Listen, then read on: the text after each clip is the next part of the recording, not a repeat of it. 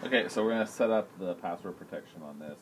Uh, you first go into the toolbox, and in the maintenance menu, you'll see a key that says Disable Toolbox. Select that. You'll at first want to set change the toolbox disable password to whatever it is, and in here you're going to type it in. So here's uh, one that I've set up for this device, and go OK. Make sure it's something you might remember. It could even be like the first name of the student that's using it, um, and make sure you write it down. If you don't, it's a little bit challenging to get it unlocked later on. Uh, once you've done that, then you're going to go in the toolbox at the top here, and you're going to actually disable the toolbox. This becomes highlighted with the tool keys.